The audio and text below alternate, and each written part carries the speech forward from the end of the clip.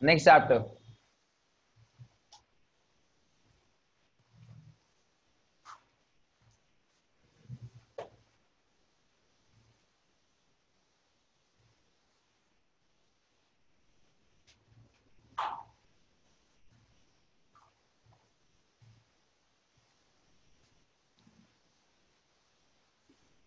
UI customization.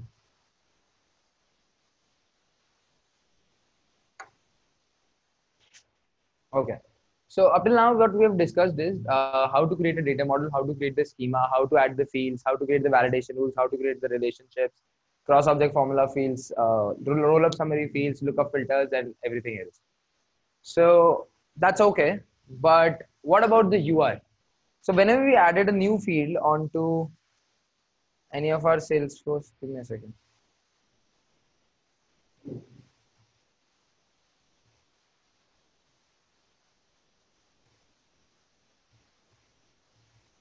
Um,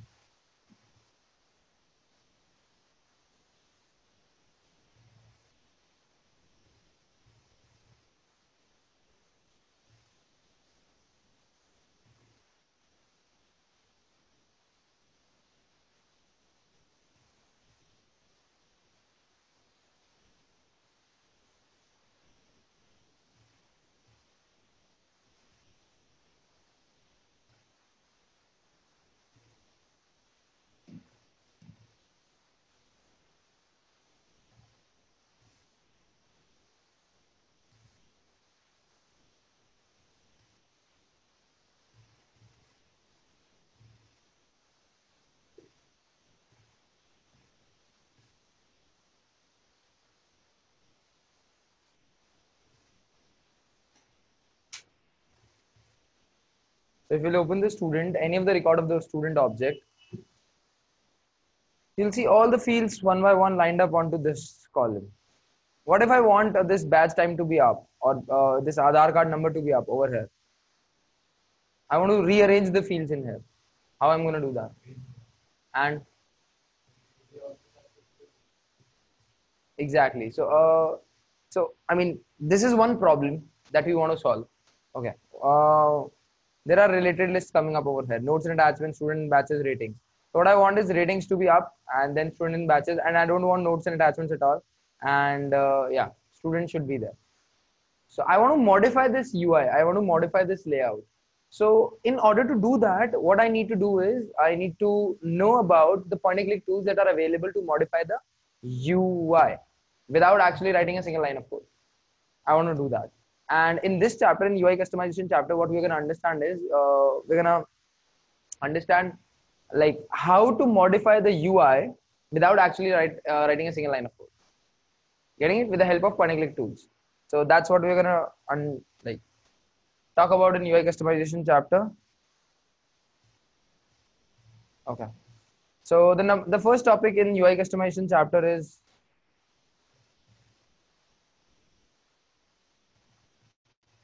page layout.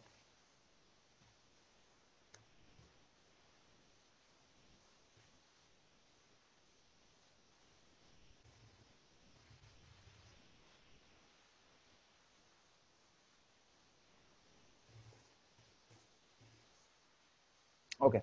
Page layout controls two things.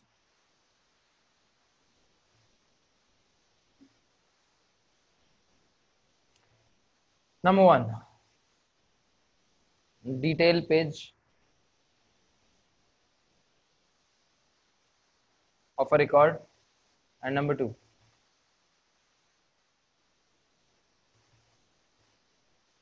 edit page of a record.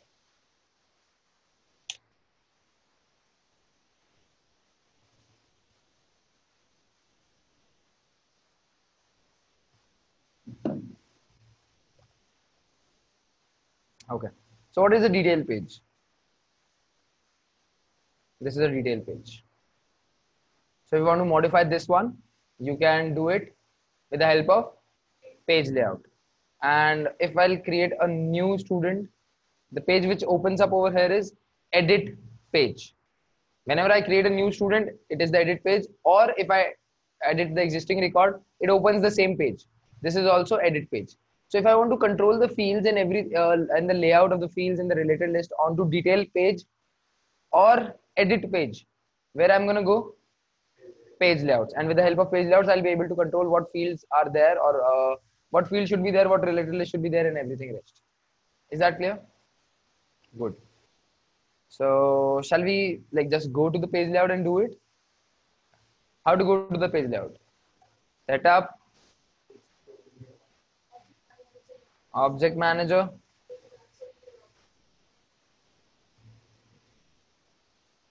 object which is student in this case. The video that you guys are seeing is like is similar to the one that you used to see or is it's something different? Because I can see there is a difference. Let me know. Uh, what?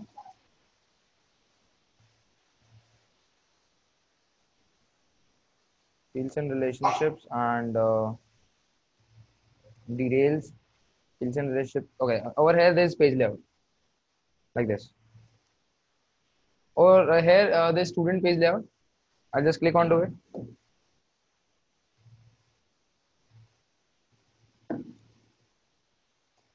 I'll go down.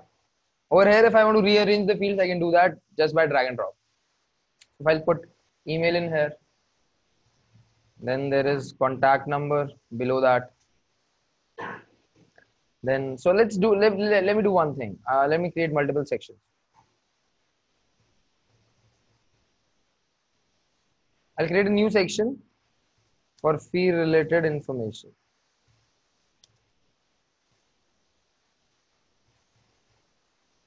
and by the way uh,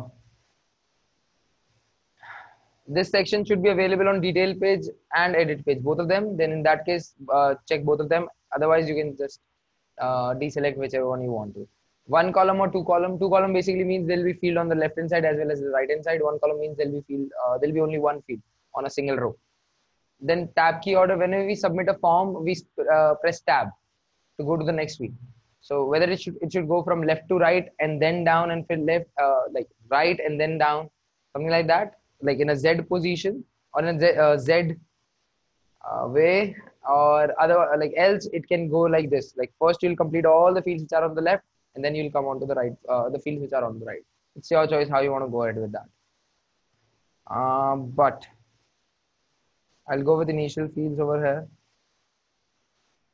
I'll drop it in here. Then there is fee deposited. And then there is total fees. Right? If I if I want to create uh, one more section, I can create it. I can create as many sections as I want.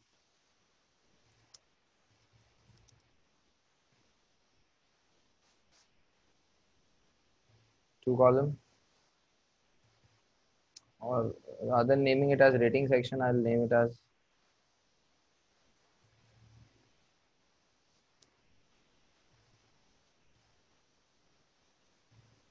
I'll then total number of ratings and then average rating.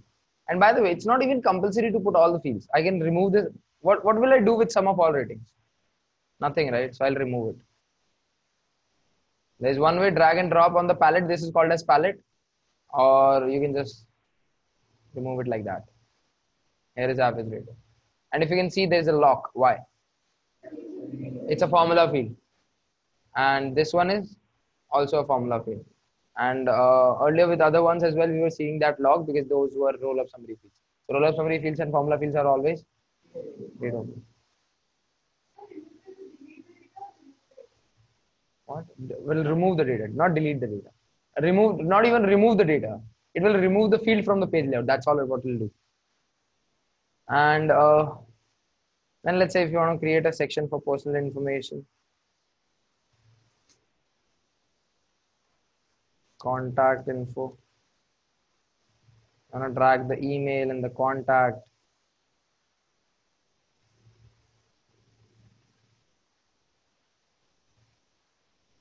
Aadhaar number, LinkedIn profile, state. Yeah. Birth date. I want a space between uh, Aadhaar card number. So I'll drag blank space. I'll again drag blank space. And space between LinkedIn profile and student's contact as well.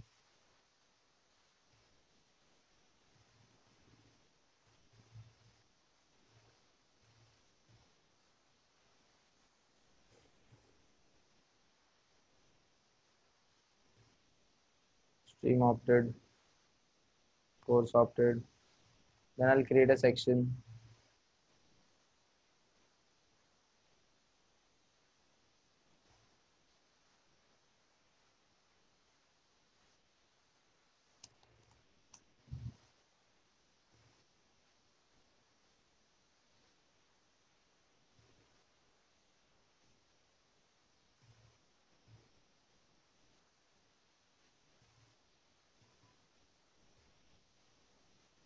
One column.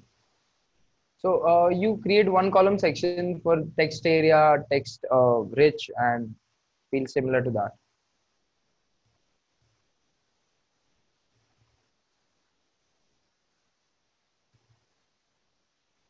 Resume.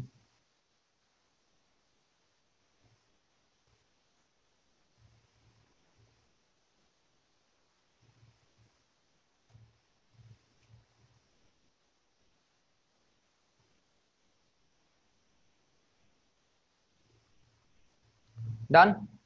The fields are set according to you and click save.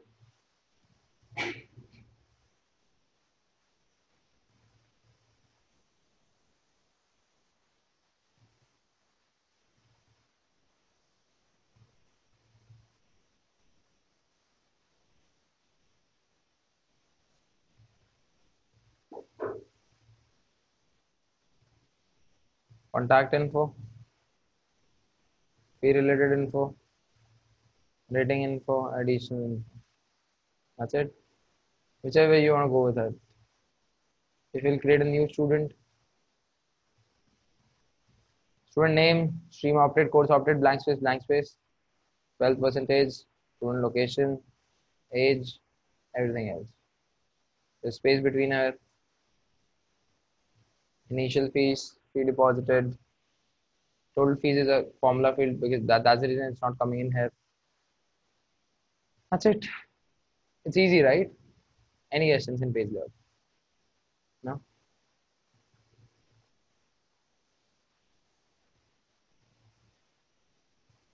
So that's how uh, page layouts work and that's how you need to modify the page layouts. Okay, so how many page layouts can we create? One, we can create as many page layouts as we want and we can assign different different page layout to different different users. Getting it? So like imagine uh, you are uh, sitting on the registration desk. Then we want different page layout for you. You're sitting on the man uh, you're, you're a manager so we want different page layout for you. You're the ceo then in that case we need a different page layout for you. So in this case we'll create three different page layouts and we'll assign these page layouts to different different people different different people and uh, different not, not to users but to different different profiles. So how to assign different different page layout? Let me do one thing. Let me make a copy of this uh, page layout. I'll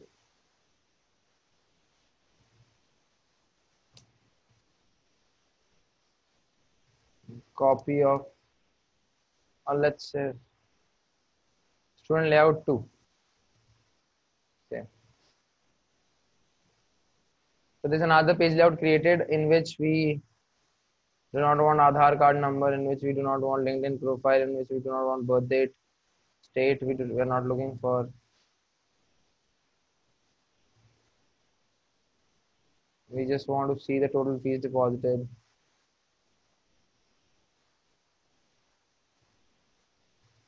This complete section should be gone.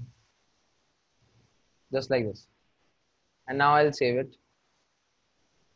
So there are two page layouts now. And if I want to assign different page layouts to different profiles, how I'm going to do that? Page layout assignment. I'm going to hit edit assignment. Then for system administrator, you want student layout. If you want student layout 2, select student layout 2 from here. And it's done. For marketing profile, you want uh, student layout 2. select this one and you, you're ready to go. Make sense? So if I'll make student layout 2 for uh, system administrator, let's see what uh, he or she will be able to see. I've saved the assignment. If I let new student,